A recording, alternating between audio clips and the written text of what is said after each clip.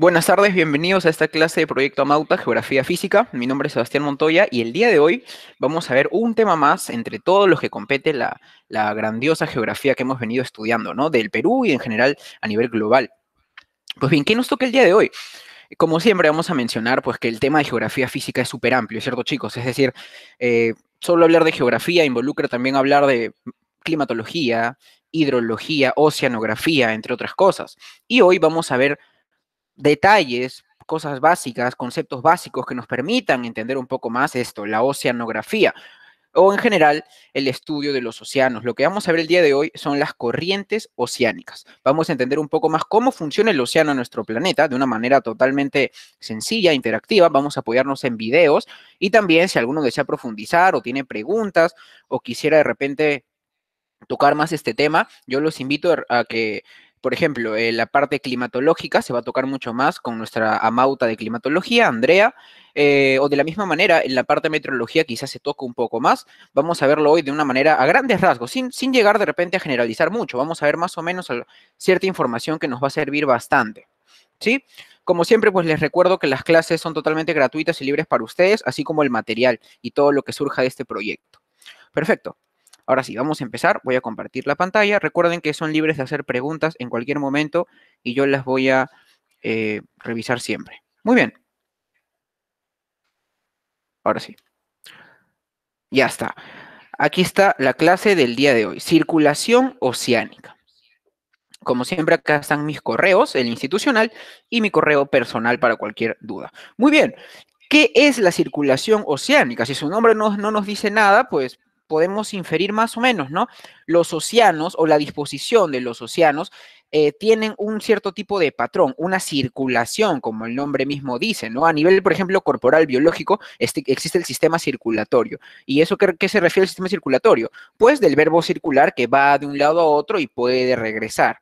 Lo mismo sucede en el océano, lo mismo sucede en la atmósfera. Y cada uno de ellos, en diferentes ciencias, pues involucra un estudio un estudio arduo y también un estudio que tiene mucho, eh, mucho tiempo y mucho descubrimiento todavía por venir. Ahora, entonces, ¿cómo lo definimos? Circulación a escala global del océano o en el océano. ¿Ok?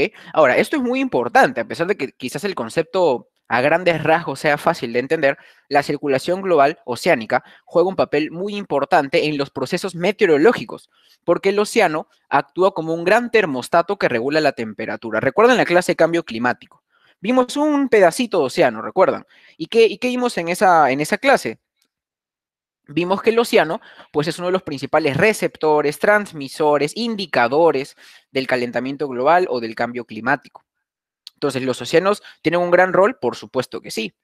Las aguas superficiales del océano absorben gran parte del calor y la circulación se encarga de distribuirlo. Eso también lo vimos en nuestra clase de cambio climático. Vimos que lo que respecta el calor, por ejemplo, podía ser transportado, transferido por eh, o a través de la circulación atmosférica y las corrientes oceánicas o la circulación oceánica. Es por eso que existe una gran disciplina como la oceanografía que se encarga de estudiar todo lo que esto compete. Vamos a seguir recalcando por qué es importante la circulación oceánica. Vamos con ciertos datos. El 20% del calor latitudinal se transporta ahí. Y un dato importante también es que el, el, transporte de calor es desde el Ecuador hacia los polos. ¿Por qué? Por la interacción también que se da con la circulación atmosférica. Entonces, el concepto que tenemos que tener claro es que el transporte de calor es del Ecuador la parte central de nuestra Tierra, hablando horizontalmente, hacia los polos. Luego, también se encarga del transporte de nutrientes y organismos y esto influencia, por supuesto, en el comercio, en los seres humanos y también en la Tierra, en el tiempo a corta escala y en el clima a gran escala, ¿no? Además, los océanos tienen un gran eh, rol en lo que respecta al ciclo hidrológico. De hecho, la próxima clase tiene que ver con ciclo hidrológico. Vamos a ir ahora a la subdivisión de hidrología, ya no oceanografía. Y vamos a ver también que tiene una gran relación con los océanos, pero por supuesto, ¿no, Sebastián? Porque de hecho, la gran parte de nuestra Tierra está cubierta por el océano, por agua. Entonces, no es sorprendente pues eh, deducir o inferir que infiere o, que interviene muchísimo lo que es el océano en el ciclo hidrológico, que muchos ya conocemos de repente de las clases de ciencias eh, del colegio, ¿no? O de repente en la universidad. La condensación, precipitación, evaporación, entre todos los procesos, tienen de una u otra forma interacción con el océano. Miren aquí a la izquierda. Y entre los datos que tenemos, que siempre se les van a repetir a aquellos que estudian pesquería, aquellos que estudian meteorología o de repente ingeniería ambiental, que el agua tiene una disposición muy eh, específica, tiene una disposición ya marcada, que es 97% del agua disponible en la Tierra está en los océanos. 86% de la evaporación global se da en los océanos y 78% de la precipitación global también eh, incurre en los océanos. Entonces, ahora sí, ya vimos cuál es la relación de los océanos con el ciclo hidrológico. Más o menos vamos entendiendo que sí es importante el rol que cumplen los océanos. Y ahora vamos a ver estas dos curvitas que a simple vista uno dice, ¿qué es eso, no? Pero entenderlo es muy sencillo. Vamos a, vamos a tomarlo así. La parte superficial del océano es la primera que recepciona el calor, la radiación, ¿cierto? Entonces, podemos inferir, podemos deducir que es la que va a estar más caliente a comparación de más al fondo. Si nos sumergimos más, ¿qué creen? ¿Que la temperatura va a aumentar o va a disminuir? Obviamente va a disminuir. Entonces, conforme la ciencia ha ido avanzando y los estudios también, se ha ido graduando cómo es que disminuye la temperatura del océano conforme vamos yendo más profundo. Es decir, temperatura versus, profundidad. Lo que vemos a los otros lados, a la derecha y abajo, son otras unidades, en Fahrenheit y en pies. Pero lo que nos importa es Celsius y metros. Entonces, miren cómo va esto. La temperatura promedio está entre los 15 y los 20 grados, digamos 18 grados. Los primeros 400 metros, digamos, se va a mantener esa temperatura. Pero luego de eso, hasta llegar a los 1300 metros de profundidad, ¿qué es lo que va a pasar? Va a haber un gran descenso de la temperatura. Miren, toda esta parte que dice thermocline, eso es termoclina. ¿Ok? Entonces, ¿qué es la termoclina? La termoclina es el espacio intermedio en el que la disminución de temperatura es abismal. Hay que verlo así. Yo empiezo a profundizar en el océano y la temperatura se mantiene. Y de repente, va, cambia totalmente de temperatura, disminuye abismalmente. Miren, de 18 hasta aproximadamente 5 grados. Todo ese espacio es la termoclina. Y a partir de ahí, la disminución continúa, pero mucho más gradual, ¿no? Porque entramos ya en la zona más profunda del océano. Entonces, lo que suele ser una pregunta o, puede ser también un tema de estudio, ¿qué es la termoclina? Ya sabemos, es la parte intermedia o la parte que contiene el descenso abrupto de la temperatura en el océano, de acuerdo a la profundidad. Listo. Ahora, ¿existen otros? Sí, porque pues los parámetros físicos del, del, agua o del océano en este caso no solo son temperatura y profundidad, también tenemos la densidad. Y la densidad va de la mano con la temperatura. Recuerden, ¿qué pasa cuando un cuerpo se calienta? Sus moléculas se excitan, se mueven mucho más rápido, ocupa más volumen. Y recuerden que la densidad masa sobre volumen. Entonces, conforme hayan cambios en la temperatura, van a haber cambios en la densidad también.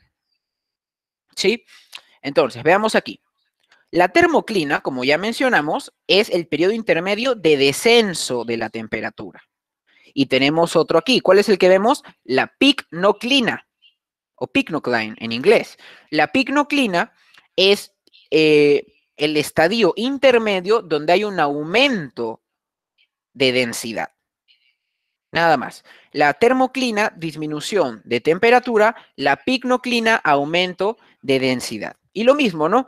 En las los primeros metros del océano, la densidad del agua es un número específico, digamos 1,025, no es 1, porque debido a la salinidad, otros compuestos no es 1 la densidad en el océano. Vamos yendo más profundo y entramos a la picnoclina, ¿no? Y en la picnoclina el aumento de la densidad es abrupto. Cuando llegamos a los 1000 metros, empieza a aumentar, pero despacio.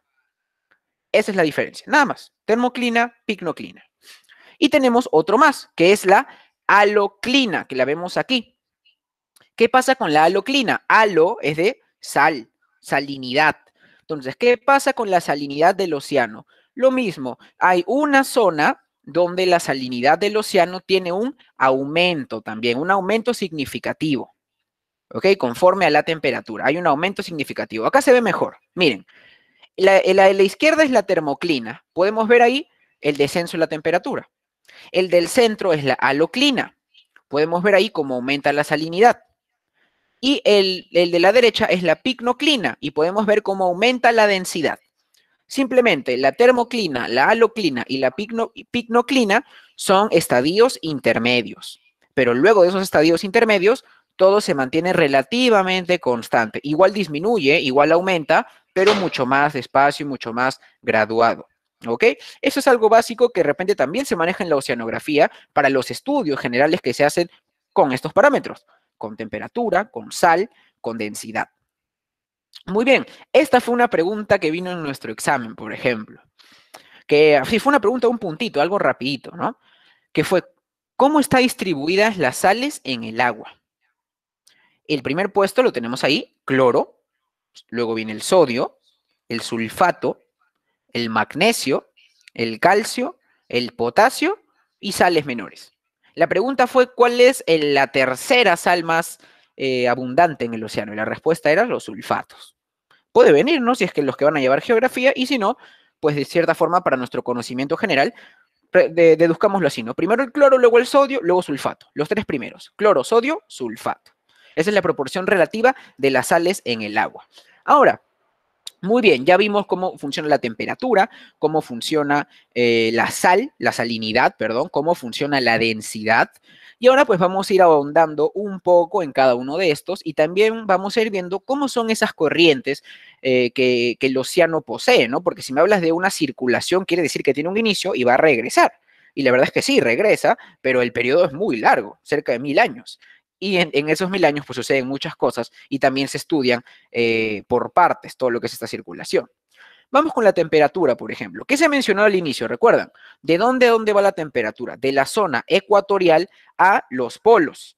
Entonces, no nos sorprende que haya una mayor condensación de la temperatura o una mayor acumulación de temperatura, donde en la parte ecuatorial. Miren, toda esta zona roja es la parte ecuatorial, y pues se va, se va abriendo hacia los polos y va disminuyendo su temperatura. Es, es algo entendible, ¿cierto? Aquí tenemos, por ejemplo, un link que les estoy dejando eh, donde se explica un poco más cómo interactúa el océano a nivel superficial. Recuerden que no todo el océano es la superficie.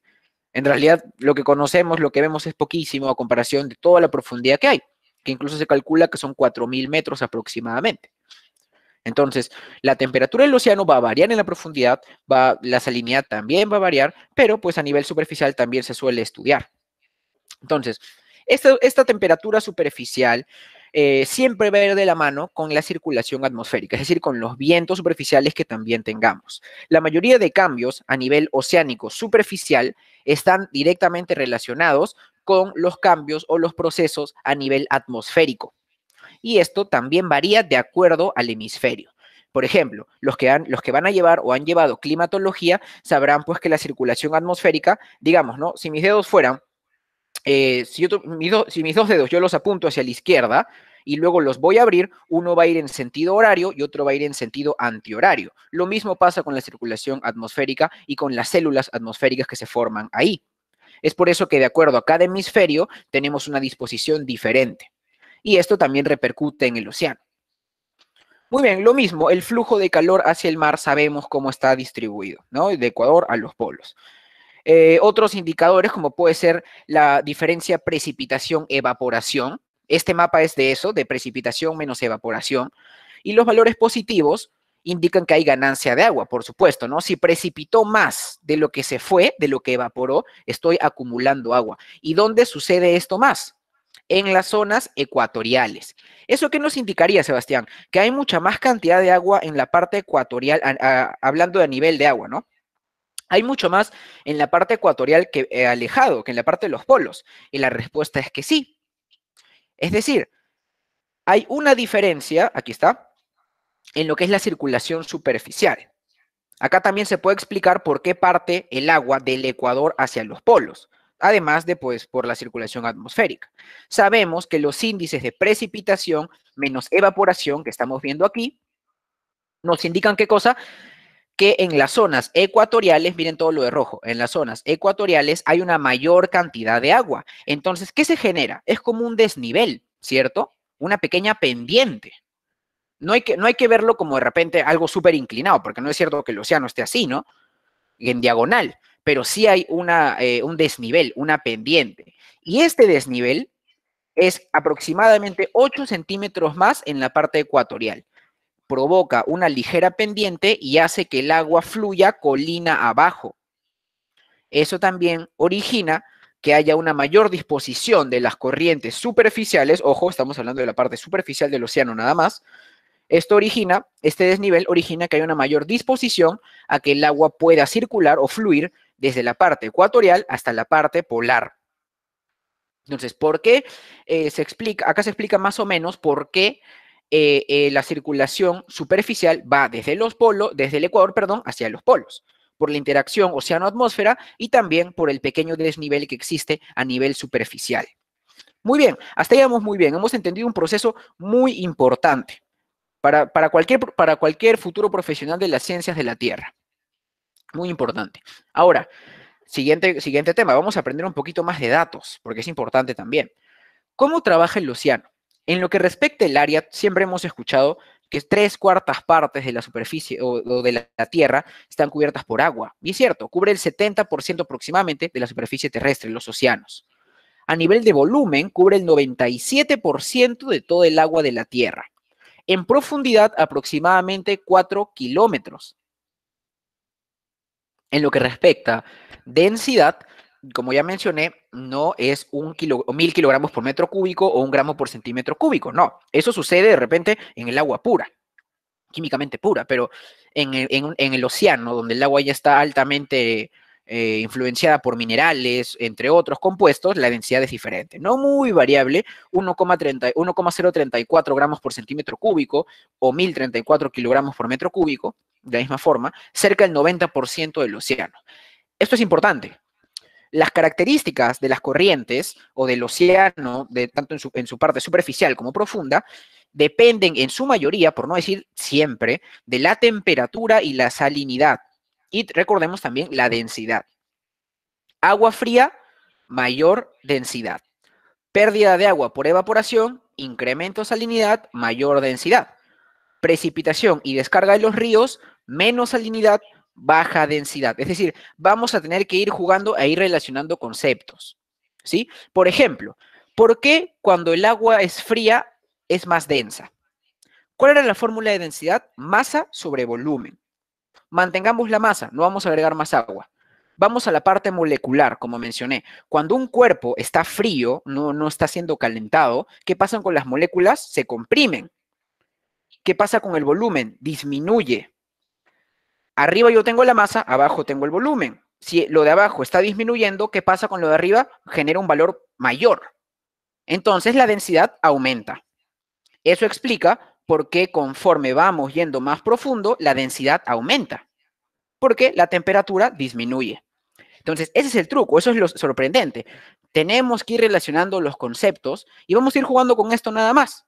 Entonces, de repente en clase nos puede marear un poco termoclina, picnoclina, aloclina, pero si sabemos manejar cómo es temperatura con densidad y por lo tanto salinidad también, pues no, va a haber ningún problema, ¿cierto? Muy bien, eso es algo que me pareció muy importante. Si alguien tiene una duda, lo volvemos a repetir, no hay ningún problema. Luego, capacidad calorífica alta. Los que de repente han llevado calorimetría sabrán que la capacidad calorífica, es decir, la capacidad de que el agua pueda cambiar de estado o que el agua pueda subir un grado, requiere mucha energía. Es por eso que la capacidad calorífica del agua es alta. Luego, temperatura es menos variable que la atmosférica. Por eso mismo. Punto de congelamiento. Menos 1,9 grados, no a cero debido a la salinidad. La salinidad disminuye el punto de congelamiento. Luego, lo que ya mencioné, la superficie no está nivelada por las corrientes, por las olas, por las diferencias de presión y las variables gravitacionales. Y aquí viene un concepto importante. Hay dos tipos de circulación. La que está direccionada por el viento, la circulación superficial, horizontal y rápida, y la circulación termoalina, que está determinada eh, en forma vertical en aguas profundas y tiene un desarrollo mucho más lento. ¿Ok? Entonces, ahí ya nos estamos metiendo en la parte oceanográfica, nos estamos metiendo poco a poco, estamos yendo paso a paso, pero seguro. Entonces, ahora sí, cómo trabajan los océanos, por ejemplo, ¿no? ¿Qué dice aquí? Calentado principalmente por el sol, con mayor incidencia en el Ecuador, que ya conocemos, hay una transferencia de calor debido a las corrientes oceánicas y todo esto tiene un efecto profundo de los océanos en el clima.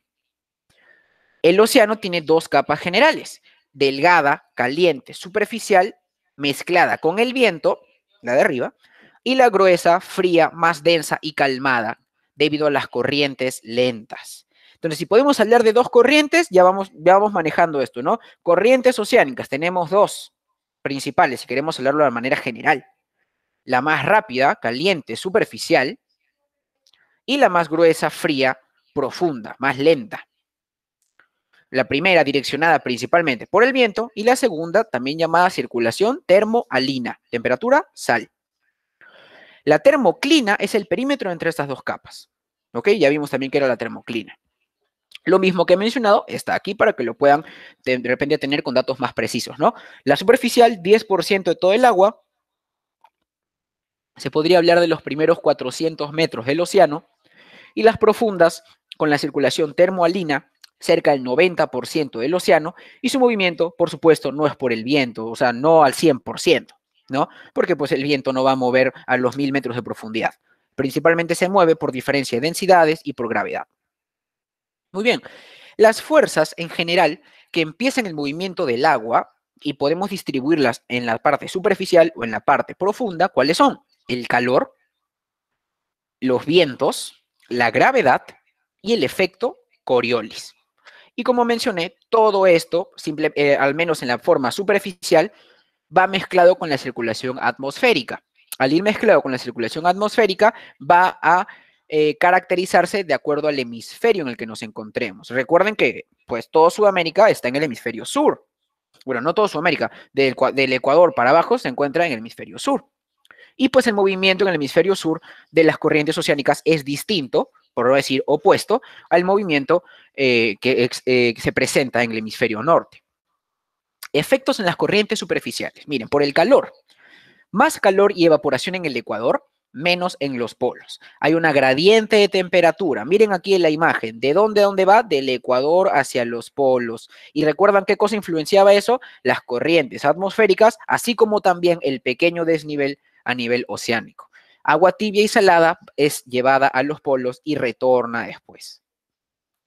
La circulación oceánica aquí también la vemos. No, no piensen que eso solo sucede pues acá al costado de nuestro país, sino sucede en todo el mundo de diferentes formas y que involucra a diferentes continentes slash países.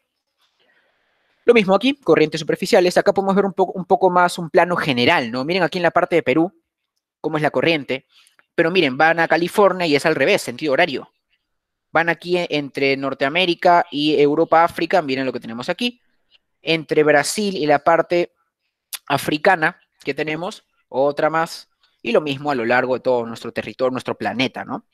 Ahora, vamos a ver un efecto, otro factor, el efecto Coriolis, que vimos cuando explicamos el, el geomagnetismo, ¿recuerdan? Cuando vimos el geomagnetismo, Coriolis también intervino, porque Coriolis no necesariamente está relacionado con el océano. El efecto de Coriolis es un efecto físico que está determinado o que está relacionado a la dinámica rotacional. Es un concepto más o menos complejo, ¿eh? Podemos eh, simplificarlo de la siguiente manera. El efecto Coriolis es un efecto visual y físico que se da eh, desde un punto de vista de un sistema no inercial o desde un punto de vista de espectador, espectador en un cuerpo que está experimentando rotación. ¿Y cuál es ese gran cuerpo que está experimentando rotación, podrían decirme? Nuestro planeta, por supuesto. El geomagnetismo también explicaba a través del efecto Coriolis cómo es que se generaban estas ondas electromagnéticas que a la larga pues generan nuestro campo magnético. Lo mismo en el océano, no un campo magnético, pero sí el movimiento que se puede eh, no apreciar directamente, pero que sí se puede registrar en lo que respecta a las corrientes oceánicas, principalmente las superficiales, ¿no? Vamos a ver los pequeños datos que tenemos aquí. Velocidades relativas en diferentes latitudes causado por el marco de referencia móvil de un observador en una Tierra que gira, un cuerpo rotacional. La curva está ligeramente a la derecha en el hemisferio norte, la curva está ligeramente a la izquierda en el hemisferio sur. De ahí viene por qué eh, el sentido de las corrientes superficiales en el hemisferio sur son antihorario y en el hemisferio norte son horario, por el efecto Coriolis y por parámetros físicos de este mismo. Vean aquí, Aquí podemos presenciar cómo están distribuidos o cómo está distribuida la fuerza de Coriolis de acuerdo a la posición latitudinal donde se encuentre, ¿no? Miren aquí, sentido antihorario, antihorario, y en la parte norte horario, ¿no? Y cómo va graduándose la fuerza de acuerdo a cuánto nos acerquemos a los polos. Ahora, acá viene lo interesante. Sebastián, entonces, ya, el efecto Coriolis influye, ¿es lo único? ¿El efecto Coriolis no genera nada más?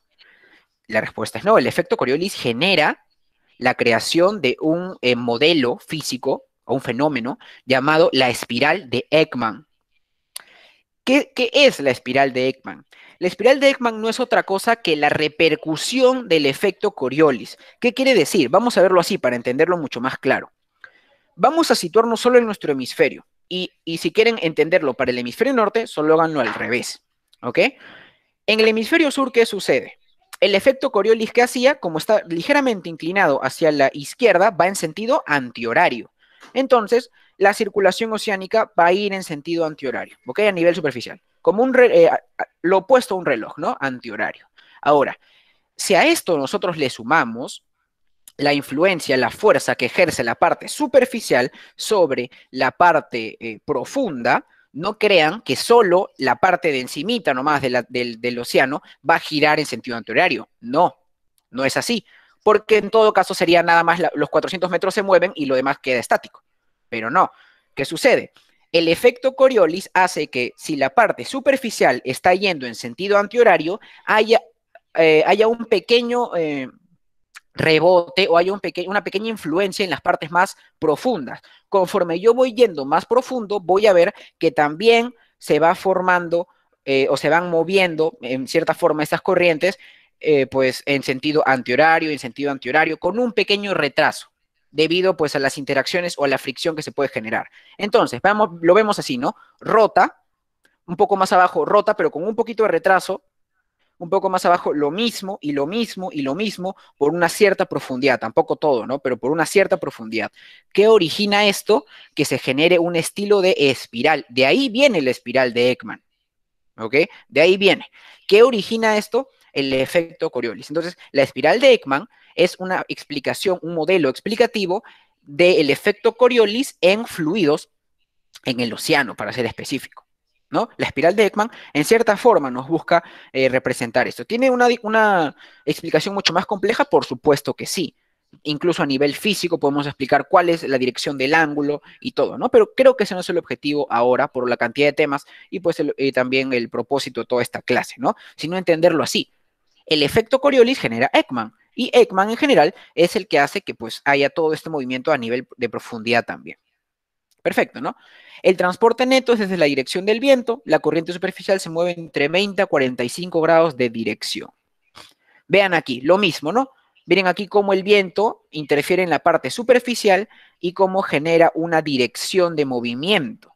Genera la dirección de movimiento que pues se va repercutiendo conforme vamos yendo más profundo, con un pequeño retraso, con una disminución de velocidad y con una disminución de fuerza, por supuesto, ¿no? Si estamos yendo más profundo, no crean que va a ser la misma velocidad o la misma fuerza. Esto también va a disminuir, ¿ok?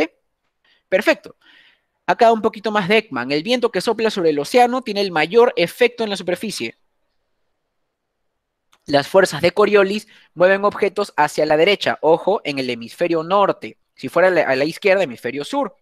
El planeta está en rotación, Coriolis, una capa inferior se mueve más lentamente que la capa superior en relación a esta rotación, con lo que ya expliqué.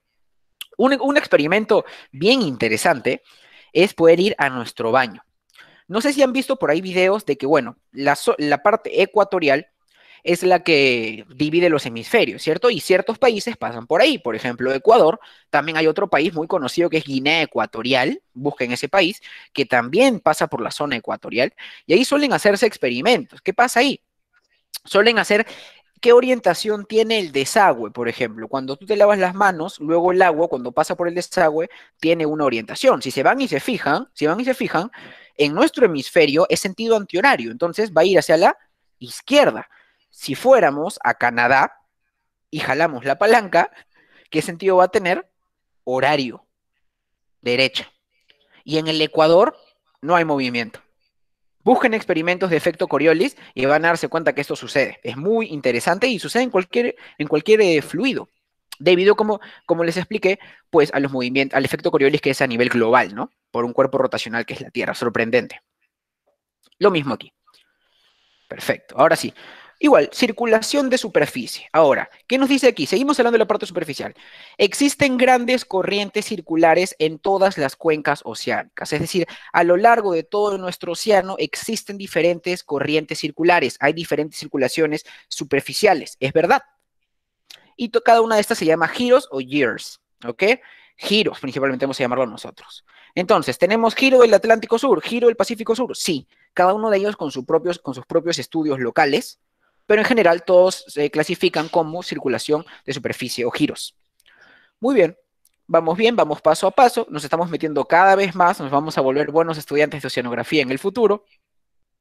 Otro, otro concepto, bueno, que, que casi siempre vamos a ir repitiendo algunas cosas, como para que ese tipo de aprendizaje sea así, ¿no? Como background, vamos a ir viendo, a ver, ¿qué es lo que hemos visto? Regresamos y regresamos. Entonces, ahora sí, ¿qué es lo que hemos visto? Más caliente en la parte superior, ya lo sabemos los organismos se mueven de una capa a otra. Vamos a meter ahí organismos.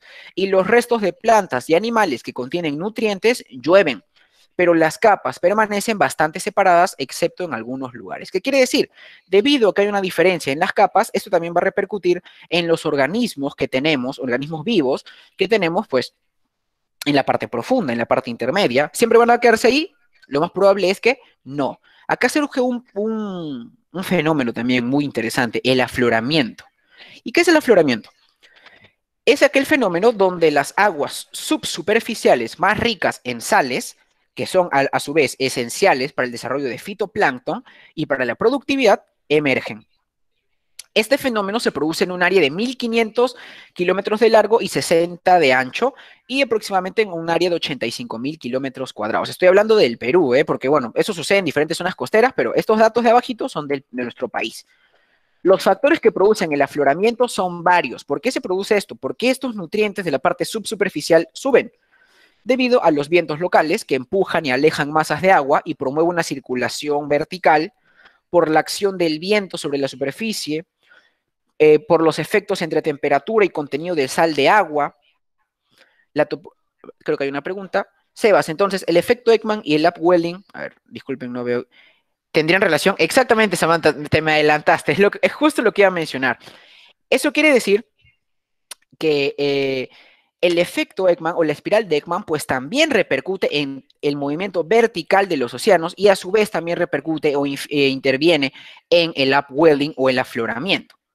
Otro factor son todos los que estamos mencionando aquí. La topografía costera también interviene. Las ondas internas de baja frecuencia del agua, o sea, remolinos, también intervienen. Muy buena intervención, Samantha, porque pues es una buena deducción. Era lo que íbamos a llegar también. Miren aquí cómo es que eh, pues intervienen los diferentes factores físicos y terminan ocasionando el afloramiento, también llamado upwelling. Acá vemos más o menos una ejemplificación de cómo los organismos van siendo rotados, ¿no? El atún, anchovetas o plancton, y cómo este va siendo circulado y los nutrientes eh, pues son elevados a la superficie por el upwelling y pues todo esto favorece la formación de fitoplancton, del que se alimenta el zooplancton, la anchoveta, atún, etcétera, etcétera. Y pues así formamos una cadena alimentaria, ¿no? Pues un ser vivo se alimenta de otro ser vivo y así continuamente hasta de repente llegar a incluso nuestras manos o nuestros estómagos. Muy bien, la surgencia costera, o esto, el, el, fenómeno que estoy explicando, se produce contra los lados occidentales de los continentes en el Atlántico, la India y el Pacífico. Allí el agua más fría sube para reemplazar el agua superficial cálida expulsada al mar por los fuertes vientos marinos. Eso quiere decir que pues también el afloramiento trae aguas más frías que permiten el desarrollo de todos estos seres y también pues esto no solo sea en nuestro país, se da en diferentes zonas costeras. Ahora, ¿esto, ¿esto nos beneficia a los seres humanos? Pues la verdad es que sí, también. Aunque estas aguas representan solo el 10% de la superficie del océano global, intervienen muchísimo en la industria pesquera pues como ya mencioné, permiten el desarrollo de otros organismos vivos. Por lo tanto, el upwelling o el afloramiento costero es beneficioso para la industria pesquera, en su mayoría sí. Puede, ser muy beneficioso si se sabe eh, llevar a cabo de una manera sostenible, por supuesto, ¿no? Lo mismo, zonas de afloramiento. Vemos que pues en las zonas costeras también hay una, eh, pequeños registros de lo que es esto. Y ahora sí, bueno, ya tocamos lo que eran las corrientes superficiales, ¿no? Vimos, vimos las corrientes superficiales, vimos el fenómeno de Coriolis o el efecto Coriolis, vimos cómo la espiral de Ekman también se produce por esto, como todo esto lleva a, eh, pues, el afloramiento costero, el upwelling, y por último vamos a ver lo que son las corrientes profundas. Ya sabemos que pues las corrientes profundas, como el mismo nombre los dice, no vamos a encontrarlas en la parte superficial. Son las que se encuentran mucho más eh, profundo en el océano. ¿No? Y, sus características pues también son ya conocidas, hay menos temperatura, es más densa, eh, hay una mayor salinidad, y esto sí, acá viene un concepto muy importante, eh, lo que se suele llamar la cinta transportadora. ¿Qué quiere decir? No crean que las corrientes profundas siempre se mantienen en la profundidad y siempre pues van a estar ahí sino que las corrientes profundas tienen también un cierto tipo de ciclo. De ahí viene el nombre cinta transportadora global, que es el concepto que vamos a ver ahora. ¿no? Se forma un cierto tipo de ciclo, donde partiendo de las zonas ecuatoriales, las aguas calientes van hacia la zona polar, donde eh, pues sumergen y donde dan, todo dan toda una circulación hasta retornar. ¿no? Este proceso dura mil años. La circulación completa a nivel de corrientes profundas dura mil años. Lo mismo aquí, ¿no? La circulación termoclina. Vemos cómo, pues, eh, a, lo largo de los diferentes espacios oceánicos o a lo largo de los diferentes tipos de océanos que tenemos, hay circulación por diferentes procesos, ¿no? Muy bien, lo mismo que vemos aquí. Eh, y bueno, aquí lo mismo, ¿no? Lo que respecta a la interacción entre temperaturas hace que gran parte del océano pueda sumergirse y gran parte del océano otra vez pueda retornar y se forma un ciclo, como una cinta transportadora. Entonces, ¿cuál es nuestra conclusión en la, parte profunda? Primero que es, es relativamente larga, mil años toma un ciclo aproximadamente, ¿no? Luego, que no siempre se mantiene bajo una misma profundidad. Es por eso que también tiene una interacción vertical, porque debido a la diferencia de densidades, temperaturas, presiones, pues en ciertas zonas emerge y en ciertas zonas sumerge. Y también pues tiene todo una circulación hasta regresar a su mismo punto inicial, ¿no? Acá tenemos los datos más importantes. Mil años para un ciclo. ayudada por el desequilibrio entre la pérdida de agua por evaporación en el Atlántico y la ganancia por precipitación y escorrentía, ¿no? Y un dato complementario, el estrecho de Bering impide el libre intercambio entre los océanos Ártico y Pacífico e inhibe la cinta transportadora del Ártico-Pacífico. Muy bien, acá, acá está mucho más explicado. Miren aquí. Cerca de la superficie, las corrientes cálidas están en rojo. Miren, las corrientes rojas son las cálidas. La azul hace referencia a las corrientes frías profundas. Observe cómo este sistema mueve continuamente el agua desde la superficie a las profundidades de los océanos y de regreso a la parte superior del océano, ¿no? Vamos a ubicarnos aquí. Vamos, por ejemplo, por Sudamérica, ¿no? Y de Sudamérica, pues tiene todo un recorrido en la parte ártica vuelve a sumergirse como parte profunda, da todo este recorrido y conforme va pasando por zonas continentales, de acuerdo a la temperatura o a las, bueno, a las temperaturas en esas zonas, va a volver a emerger y volver a sumergirse hasta completar un ciclo completo que toma cerca de mil años. Muy bien. El agua profunda se forma cuando el agua de mar que ingresa a las regiones polares se enfría, se vuelve más salada y más densa, ¿no? Imaginen esto, viene agua caliente, llega hasta la zona ártica, se enfría, se vuelve más densa, cae. Por eso que esa agua o esa, esa masa de agua va a las profundidades, tiende a hundirse y empieza a desplazarse por la circulación termolina. Empieza a desplazarse, se mueve hacia el sur, circula y luego se mueve hacia el norte y sigue circulando. Y lo mismo, cuando llega a aumentar su temperatura, ¿qué pasa con su densidad? Disminuye, emerge y vuelve a ir por la parte superficial y vuelve a dar un ciclo. Genial, ¿no? Increíble. Ese es el recorrido que tiene nuestro océano. Muy bien, todo esto ayudado pues por la rotación de la Tierra, ¿no? Ahora, todos estos procesos generan diferentes fenómenos a lo largo de nuestra, de nuestra historia. Fenómenos que ciertamente pues son estudiados a diario, que no son 100% conocidos, de hecho, ni, ni pueden ser 100% predecidos. Pero miren, por ejemplo, vamos a ver el que tenemos aquí, el fenómeno del niño, o en específico vamos a ver ENSO. ¿Qué es ENSO? El niño oscilación sur. ENOS en inglés, ¿no? O bueno, en español, o ENSO en inglés. ¿Y qué es esto? ¿Qué es ENSO? es un evento climático natural que se desarrolla en el Océano Pacífico Ecuatorial Central, en esta zona. La fase cálida de Enos o Enso, conocida como el niño, se manifiesta por el aumento de la temperatura superficial del mar. Y la fase fría es conocida como la niña, nada más. Ahora, este fenómeno tiene que ver mucho con el transporte de agua de mayor temperatura o de menor temperatura y la incidencia que esto tiene en la zona a la que se está a la zona en la zona en la que se está acercando. ¿Ok? Entonces, vamos a entender el fenómeno del niño así. Vamos a ver un video bastante explicativo ahora. Estas condiciones anómalas generan fuertes precipitaciones y cambios notables en el clima y las pesquerías, tanto en países ribereños del Pacífico sudoriental como en otras partes del mundo. ¿no? La fase inversa del fenómeno del niño es la niña y se caracteriza por presentar eh, temperaturas superficiales más frías que la normal. Los vientos alisios, que son vientos fríos, eh, vienen mucho más fuertes y periodos de sequía. Muy bien, Vamos a ver este video de aquí, chicos. Primero voy a compartírselos porque necesito mostrárselos para que de repente el aprendizaje sea más rico para esto. Miren aquí. A ver, vamos a ver. El fenómeno del niño explicado. Aquí está. No sé si son seguidores del robot de Platón. Muy buen youtuber. Explica muchísimas cosas. El fenómeno del niño explicado. Primero, ¿por qué le dicen fenómeno? ¿Y por qué le dicen el niño? Fenómeno en las ciencias naturales no es algo extraordinario, sino más bien cualquier manifestación física que puede confirmarse a través de la observación directa o medición indirecta. Así por ejemplo el niño y la lluvia misma son fenómenos meteorológicos. El nombre del niño se lo pusieron los pescadores del puerto de Paita al norte del Perú en alusión al niño Jesús, ya que este fenómeno hacía su aparición en la temporada navideña. ¿En qué consiste el niño? Este es el comportamiento normal del clima en el Océano Pacífico, Parte del recorrido de los vientos alisios es de este a oeste.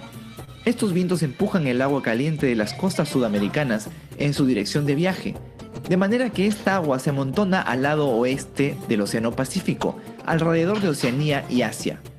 Lo que sucede en Sudamérica es que esa agua caliente que se está yendo es reemplazada por agua fría que es empujada desde los fondos oceánicos, que es llamada corriente de Humboldt. Esto genera una diferencia de temperaturas a través de todo el Océano Pacífico, lo cual nos da agua caliente amontonada a un lado y agua fría al otro. El agua caliente al evaporarse y condensarse le da a esa parte de Oceanía y hacia un clima tropical, favoreciendo las lluvias. En lo alto de la atmósfera el viento se mueve en dirección opuesta, lo que da como resultado a un sistema de circulación de aire que constantemente empuja las aguas cálidas hacia el oeste. Esto es lo normal, pero el fenómeno del niño, el cual ocurre de manera regular en intervalos de 3 a 5 años, cambia todo esto drásticamente. Empieza con una fuerte caída de los vientos alisios, lo que ocasiona que el sistema de circulación de aire se interrumpa y las aguas cálidas que se encontraban en Oceanía y Asia se dirijan hacia Sudamérica. Cuando ahí llegan estas aguas se evaporan y producen las fuertes lluvias inusuales a lo largo de toda la costa. Mientras que al otro lado del Pacífico el clima se vuelve seco dando lugar a terribles sequías. Un fenómeno contrario es el de la niña. El nombre se escogió por ser lo opuesto a niño, lo cual no tiene sentido por ser un niño específico. Más sentido tendría ponerle Herodes. Sí, el fenómeno Herodes. En fin, lo que ocurre con la niña es que los vientos alisios soplan con una fuerza mucho mayor a la normal, lo que provoca que mucha más agua caliente se acumule en la zona de Asia y Oceanía, provocando lluvias extremas en ese lado y sequía en Sudamérica. Ambos fenómenos provocan desastres naturales y escasez de peces, no solo en las zonas antes mencionadas, sino alrededor de todo el mundo. Pero, ¿podemos acaso controlar el niño? Pues no, para hacer eso tendríamos que controlar la temperatura de los océanos, y debido a la cantidad de agua en estos, necesitaríamos usar toda la energía creada en la explosión de 400.000 bombas de hidrógeno de 20 megatones cada una. Si podríamos hacer eso, podríamos calentar el Océano Pacífico a voluntad, pero tendríamos que volver a enfriarlo, así que hasta que no desarrollemos una manera alterna de hacerlo, solo nos queda prevenir, estar muy alertas y brindar toda nuestra ayuda a los damnificados. Perfecto. Vimos esta parte, muy interesante el video, por cierto. Y bueno, continuamos. Entonces nos queda un poco más claro, ¿no? A manera más de síntesis, a manera más de entender el proceso, que es el objetivo principal de esto, de cómo, qué es lo que sucede en el fenómeno del niño. Entonces, eso de, bueno, las noticias lamentables que vimos de repente en el 2017 aquí en nuestro país, de qué sucedió con el fenómeno del niño, por qué habían tantos derrumbes, huaicos, inundaciones, pues tiene una explicación eh, meteorológica en qué está sucediendo, ¿no? Y también oceanográfica. Entonces, el fenómeno del niño es la interrupción del desarrollo normal de interacción entre las corrientes cálidas que van hacia hacia la parte, eh, pues, el continente oceánico, bueno, hablando simplemente en nuestro caso, se interrumpe y se, produce lo inverso. Al producirse lo inverso, porque los vientos alisios se han debilitado, al producirse lo inverso, eh, pues los, las aguas más cálidas, el océano, la parte oceánica más cálida, llega a nuestra costa y es lo que origina, pues, lluvias anormales, ¿no? Es lo que origina también, eh, pues, y esto obviamente va de la mano con una falta de estructura política, con una falta de precaución, y causa los desastres. Y no crean que solo aquí sufrimos, porque mientras aquí sucede esto, en la zona de Australia hay sequías tremendas que destruye, que destruye su agricultura. Y viceversa, en el fenómeno de la niña, lo mismo, hay sequías aquí, en la parte sur, mientras que allá están inundándose por completo en toda la zona de Papúa Nueva Guinea, por ejemplo, en Oceanía.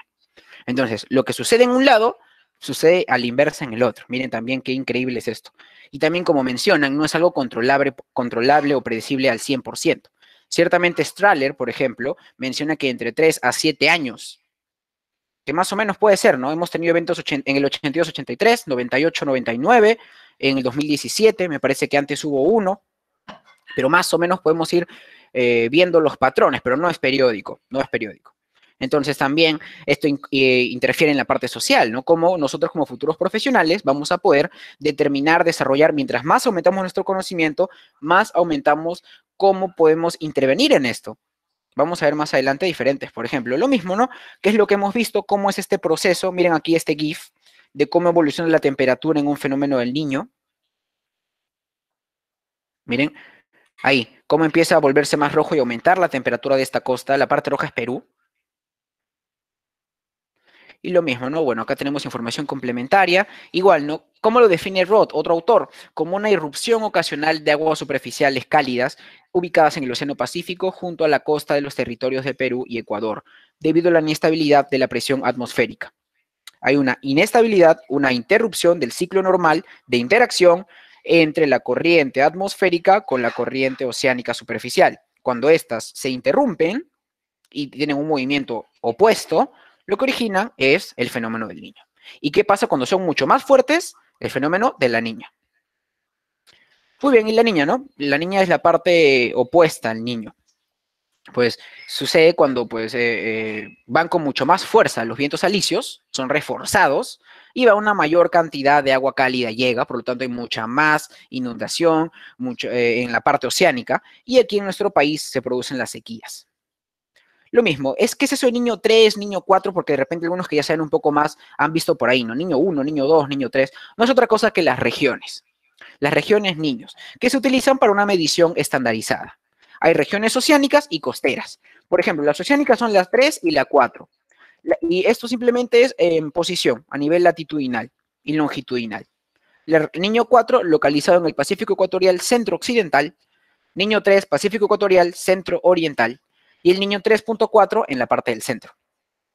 Y las costeras tenemos el niño 2, el niño 1 y el niño 1 más 2. El niño 2, región localizada en el Pacífico Ecuatorial Costero, Islas Galápagos, Ecuador. Niño 1 en el mar frente a las costas del norte de nuestro país, delimitada por esto, bueno, esas cantidades, esas latitudes y longitud en Perú. Y niño 1 más 2, la sumatoria de las regiones, ¿no? De repente, para ser más finos, podemos decir que los problemas relacionados al fenómeno del niño en la parte costera de nuestro país, en la parte norte, pues se dan en una región niño 1. Si leemos por ahí un informe niño 1, sabemos dónde están pasando, niño 2, lo mismo, y si el problema es oceánico, niño 3, niño 4, como la imagen de aquí, que está en la parte intermedia, ¿no? Muy bien, bueno, esto también repercute, como mencionó eh, ese pequeño video, en cómo eh, se da el ciclo alimenticio, la cadena alimenticia se se ve afectada, por supuesto. De repente aquellos que saben un poco más de la parte de peces, sabrán pues que no todos los peces se desarrollan a la misma temperatura, bajo los mismos nutrientes, pueden morir o migrar. Y eso suele pasar. Lo mismo aquí, los índices de oscilación con un niño 3.4, por ejemplo, la parte central, ¿no? Ya vamos entendiendo ahí. Vemos gráficos de niño, niño 3.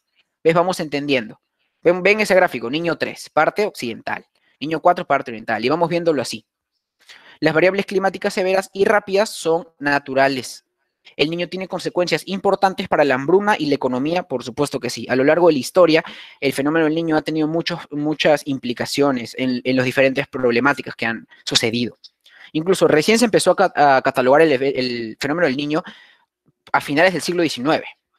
¿Por qué? Porque se empezó a, determinar, ¿no? Algunos eh, especialistas empezaron a pensar, hey, lo que está pasando en Australia está relacionado con lo que está pasando en Perú. ¿Por qué son opuestos? Lo que está pasando en la India es opuesto a lo que está pasando en Egipto. ¿Por qué? Entonces, en base a esas pequeñas oposiciones que se hicieron, se fue estudiando cada vez más el fenómeno del niño. Que como ya saben, se dice que tiene el nombre debido a los pescadores del puerto de Paita, ¿no? Que pues aquí en nuestro país eso se da principalmente en diciembre, que empieza el solsticio de, de verano, o sea, cuando empieza el verano, pues se da este fenómeno para nosotros y también por eso en la antigüedad se le llamaba el niño, porque pues cuando venía el niño Jesús también venía esa desgracia, así decían, ¿no? Ahora, básicas del Enso, que es lo básico entre los que hemos visto, el Pacífico Ecuatorial tiene algunas de las aguas más cálidas del mundo. Hacia el este, el agua fría brota, transportando nutrientes, que soportan grandes poblaciones de peces. Pregunta, Sebastián, ¿esto solo sucede entonces entre Perú y Australia? O sea, ¿no hay otros fenómenos que se pueden dar en otros lugares? Sí, los hay. Los invito a que los sigan buscando. A lo largo de nuestro planeta, sobre todo en la parte ecuatorial o en la parte pues latitudinal baja, suelen darse muchísimos fenómenos e interrupciones y modificaciones, alteraciones de los patrones de circulación a nivel atmosférico, a nivel oceánico, a nivel hidrológico, entre otros. Y cada uno de estos es sumamente estudiado. Aquí, ¿no? Miren, aquí más o menos vemos la interacción eh, atmosférica con oceánica. Miren lo normal. Lo normal es que la circulación de Walker, circulación atmosférica, tenga esta dirección. Y pues eso favorece, como ya sabemos, las corrientes oceánicas, ¿por quiénes son guiadas? Por el viento principalmente, ¿no? Entonces sabemos, pues que de la parte derecha va hacia la izquierda, ¿no? Y va a un sentido horario. Estamos hablando de repente de hemisferio eh, norte. O hemisferio sur, de repente, eh, pues bueno, está visto desde, desde otra perspectiva, pero sería antihorario, ¿no? ¿Y qué sucede en el episodio del niño? Pues esto se invierte, se invierte. ¿Por qué? Por la diferencia o por las interrupciones que se pueden dar a nivel de presiones, a nivel de temperaturas. Y ya sabemos que esto todavía es materia de estudio. Ciertamente los meteorólogos saben mucho más que yo sobre este tema porque involucra bastante la parte atmosférica. Como les mencioné, los invito a revisar la parte climatología en nuestro proyecto también, donde estoy seguro que se va a hablar bastante de esto. Pero en general lo que tenemos que ir sabiendo para cualquier clase que tenga que ver con esto es que hay una interrupción en ambos, en ambas corrientes, en ambos sistemas. Esa interrupción es la que genera el fenómeno del niño. Lo mismo aquí, ¿no? La circulación Walker y la circulación atmosférica que se da en esa latitud es la que se ve eh, interrumpida y la que se ve invertida. Bien, miren aquí las zonas, ¿no? Tenemos Darwin, Australia, Lima, Perú, eh, Tahití, que es una isla perteneciente a Francia, de la Polinesia francesa, si mal no recuerdo, entre otros. Lo mismo aquí, lo mismo aquí, la oscilación, ¿no? Vamos, hay diferentes gráficos. Los invito a que revisen un montón de gráficos, algunos más explicativos que otros, de cómo el fenómeno del niño eh, interfiere en la circulación. Lo mismo, ¿qué es lo que lo causa? Aquí hay una explicación mucho más eh, específica para los que quieran ahondar. Y aquí, aquí viene algo interesante. ¿Qué tiene de bueno y de malo los efectos del niño o del eh, fenómeno del niño oscilación sur? La respuesta es depende dónde vivas y a qué te dediques. Miren qué pasó en el 82 y en el 83. Miren todas las zonas que se vieron en cierta forma afectadas. En Australia, sequías. En Indonesia, eh, pérdida de cultivos. En la India, sequías. En Tahití, ciclones. En Sudamérica, la industria pesquera devastada. A lo largo del Pacífico, los arrecifes de coral murieron.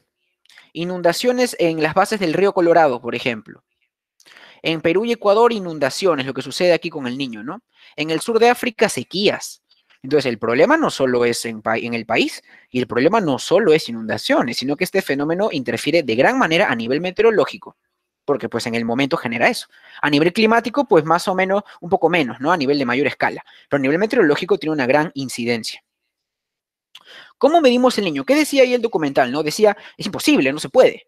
Ciertamente más o menos hay eh, intentos de poder hacerlo, pero llevar un control completo aún no se ha desarrollado. Quién sabe, de repente alguien quien está en esta clase puede desarrollar ese sistema. Por ahora no hay. Se usa el método, un método más rudimentario, por ejemplo, las boyas, con una medición de la temperatura a cierta profundidad, O también eh, por asesoramiento remoto, mediante el uso de satélites, que de repente es lo actual, ¿no? Lo más moderno como eh, la distribución de temperatura con diferentes radares o sensores nos permite determinar cómo está variando a lo largo de una escala de tiempo. Gracias a la tecnología satelital podemos ver esto. Muy bien, y bueno, aquí vemos, ¿no? Acá está todo largo, niño 3, niño 4, niño 3.4, niño 1 más 2, porque ya en profundo vemos el niño 1 y el niño 2. Y aquí, pues, voy a, aquí voy a mostrarles un montón de mapas, ¿no? Básicamente, o un montón de gráficas, perdón. Miren aquí, ¿no? Eh, vemos diferentes influencias en lo que respecta al niño y la niña. Miren aquí, en la parte del niño en la izquierda y la parte de la niña en la derecha. Vemos aquí seco, húmedo, seco, húmedo y al revés en la parte de la niña. Húmedo, seco, húmedo, seco. El niño y las lluvias, por ejemplo, las zonas donde afecta sobremanera. Y lo mismo aquí y aquí, ¿no? ¿Es predecible? Hemos visto que por el momento no, no lo es. Hay diferentes estimaciones, hay diferentes modelamientos en, zonas, en el niño 3, en el niño 4, en el niño 1 más 2. Sin embargo, no se puede predecir. Si así fuera, no pasaría lo que, lo que suele pasar en todos los países. Con diferentes tecnologías, con diferentes políticas, el niño sigue viniendo cuando menos lo esperamos. De repente, cada vez se siguen desarrollando indicadores, incluso no necesariamente oceánicos, incluso biológicos, qué especies migran antes, eh, tienen mayor sensibilidad a la temperatura, a la variación de temperatura, y en base a eso pueden tenerse muchas teorías, y ciertamente, pues esto, yo estoy seguro que en el futuro, pues va a ser cada vez más predecible, ¿no? Algo así como de repente a nivel terrestre los temblores o o los terremotos, ¿no? Y lo mismo, ¿no? ¿Qué es lo que suceden? ¿Qué es lo que ocasiona? Y más gráficos. Les dejo un montón de gráficos para que puedan eh, verificarlos. Miren aquí las incidencias, 2009, 4, 82, 97. Por acá van a agregar 2017 también.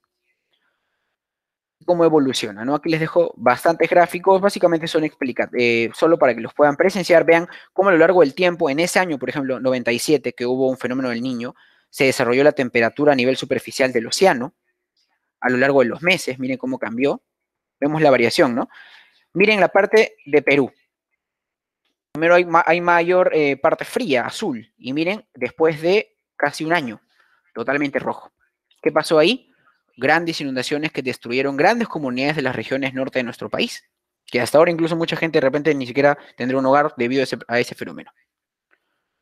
Y lo mismo aquí, un montón de variaciones a lo largo del año. ¿no? El niño costero, lo mismo que sucedió aquí, en nuestro país. Bien, chicos, con eso hemos terminado la clase de hoy justo a tiempo. Y ciertamente creo que es un tema también. Eh, ah, pregunta, ¿el fenómeno del niño y la niña tienen igual o similar duración? Ciertamente no sabría especificarte o decirte con claridad, pero en general, al ser estacionales, sí suelen tener una duración similar. Recordemos que pues, el fenómeno del niño también eh, coincide en su, en su, mayoría con eh, el solsticio de verano. Entonces, pues, si coincide también con la mayor cantidad de temperatura, el fenómeno de la niña también coincidiría con la menor cantidad de temperatura, por lo tanto, también tendrían a ser estacionales, ¿no? Pero igual, el tiempo de duración tampoco es muy predecible que digamos. Igual, gracias por la pregunta, Samantha. Y pues bien, chicos, eh, con eso hemos terminado la clase. Voy a mostrarles, como siempre, lo que, bueno, el material que les he dejado en su classroom que pueden ver aquí, por ejemplo, en nuestra clase número 7 de circulación oceánica, les he dejado tres videos muy, tres videos muy interesantes. El fenómeno del niño en nuestro país, de repente aquellos, algunos ya se olvidaron, pero fue totalmente brutal. Nos quedamos incluso nosotros sin agua, ¿recuerdan? Eh, se cancelaron las clases y todo eso. Luego, corrientes marinas, que fue lo que vimos el primer tema, y el fenómeno del niño, el video que ya vimos, ¿no? Del robot de Platón. Ahora, y en investigación les he dejado un paper muy interesante que habla de eh, cómo afectó a nuestro país el fenómeno del niño, en específico. Y lo, más curioso es que la investigación no la, hizo, no la hicieron peruanos, la hicieron austriacos, para que vean que a veces de repente ni nosotros mismos le prestamos atención a lo que sucede en nuestro país. No digo que nadie investigue, pero bueno, es raro, ¿no? Y encontramos, acá hay una investigación en inglés eh, sobre eh, pues lo que pasó en el fenómeno del niño. Una pregunta para poder responder en la parte crítica, ¿no? ¿Qué medidas debería tomar nuestro país? Ya sabemos qué complicaciones trae esto a nuestro país. Sabemos que tiene una periodicidad, no completa, pero parcial. Entonces, ¿qué podemos hacer?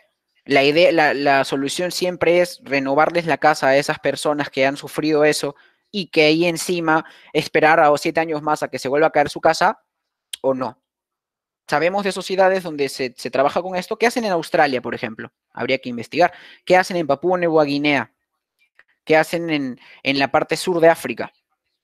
Ah, los invito a leer eso y de repente compartirlo con la clase aquí.